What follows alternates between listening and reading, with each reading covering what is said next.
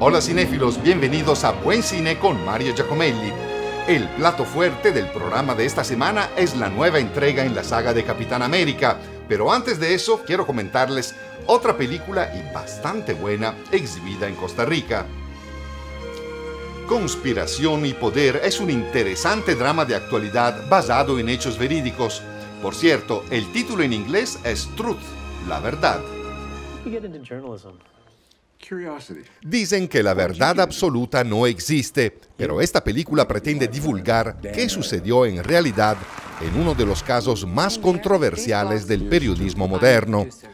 Kate Blanchett es una productora del programa televisivo 60 Minutos. Al mando de un equipo de reporteros, ella descubre un caso turbio de favoritismo en el pasado militar del entonces presidente George W. Bush. Hasta aquí, la cinta funciona de maravilla como thriller de suspenso sobre periodismo investigativo, un poco a lo Spotlight. Pero luego, cuando el reportaje sale al aire en la cadena CBS, es donde la trama comienza realmente. Acusaciones falsas difundidas por Internet inician una avalancha de demandas legales que arrastra a los periodistas y los golpea con la fuerza de un boomerang.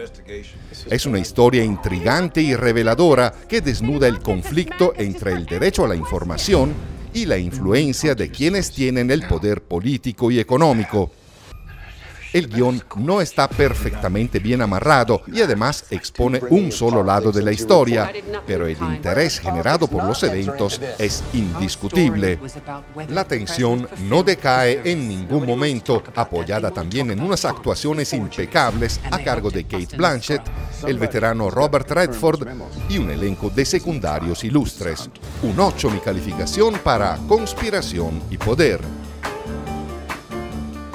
A continuación les voy a comentar una producción mexicano-estadounidense. En inglés se titula Sundown, atardecer, pero en español le pusieron What the Fuck. Inspirándose abiertamente en la tónica desinhibida y excesiva de ciertas comedias gringas como Una Noche Loca o la trilogía de Hangover que pasó ayer, el realizador mexicano Fernando Lebrija cuenta una historia bastante trillada. Dos compañeros de colegio desobedecen las órdenes de sus padres y viajan a la playa de Puerto Vallarta para disfrutar del llamado Spring Break o vacaciones de primavera. Ambos consiguen mucha más diversión de la que buscaban. La farsa es poco original y está plagada de chistes homofóbicos y vulgaridades en su mayoría innecesarias. Goza también de buenos momentos, sobre todo cuando ilustra la pasión por la música de uno de los protagonistas, quien sueña con ser DJ, incorporando amplias secciones de música electrónica bailable con la participación de muchas estrellas del género.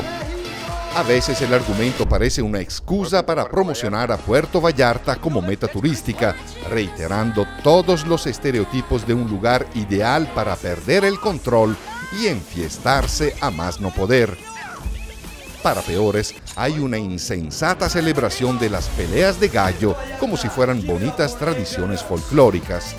Hay una de cal y otra de arena en What the Fuck, calificación 5.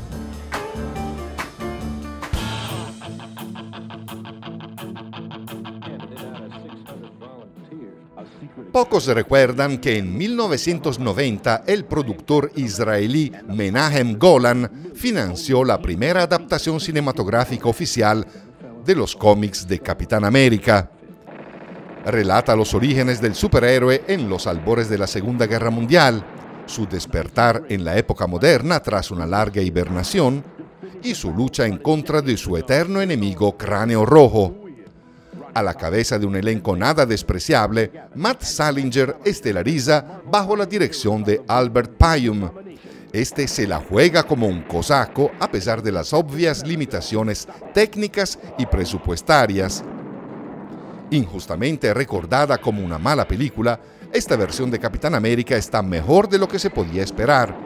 Más allá de sus ingenuidades, es una película de culto que vale la pena recuperar.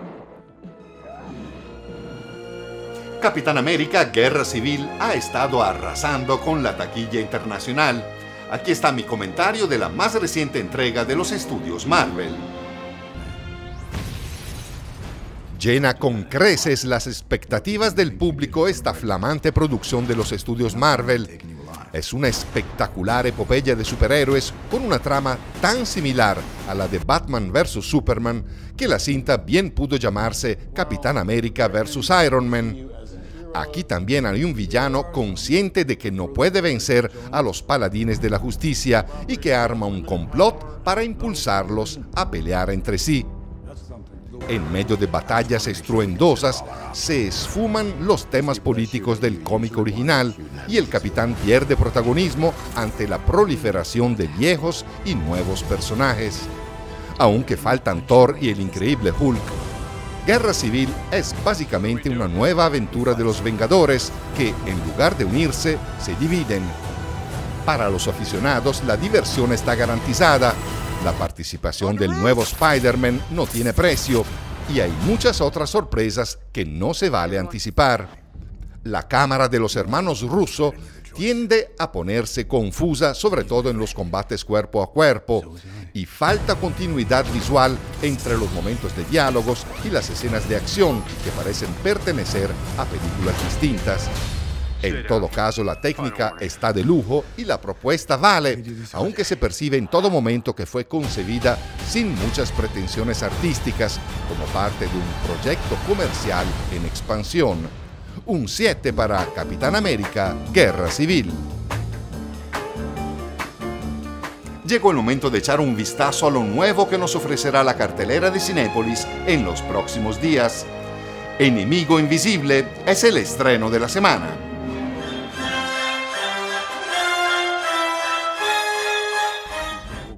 La naturaleza de la guerra moderna y la controvertida utilización de aviones bombarderos manejados por control remoto son los temas que abarca el drama bélico Enemigo Invisible. La actriz inglesa Helen Mirren encarna a una coronel de aviación de Estados Unidos quien se ve obligada a tomar una decisión difícil, sacrificar a un inocente para impedir un ataque terrorista.